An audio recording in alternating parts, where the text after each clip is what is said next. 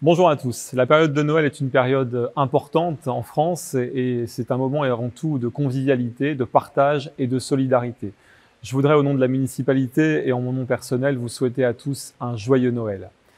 Qu'il me soit permis par cette vidéo de remercier les services de la ville qui agissent pour vous toute l'année et qui ont contribué à ce que nous ayons il y a quelques jours un très beau marché de Noël.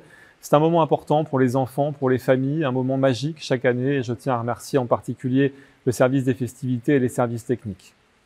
En cette période de Noël, période de solidarité, je voudrais aussi remercier tous les bénévoles des associations mobilisées pour vous, le Secours Populaire bien sûr, la Croix-Rouge et puis les Restaurants du Cœur qui font beaucoup ici à Beaucaire.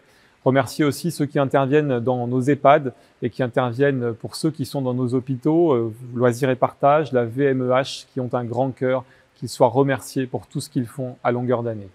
Un merci également au CCAS et à tous ceux qui agissent pour nos aînés, qui leur apportent de la considération, du respect, de l'estime et de la chaleur, c'est important.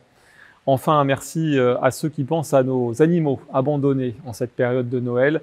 Un grand merci aux bénévoles du refuge de la garde animalière euh, qui agissent toute l'année euh, aussi pour nos amis à quatre pattes. Alors, euh, à quelques heures euh, du réveillon, euh, je voudrais adresser une dernière pensée, cette fois-ci à ceux qui vont veiller sur nous pendant cette nuit de Noël, les personnels de sécurité et puis aussi les personnels de santé.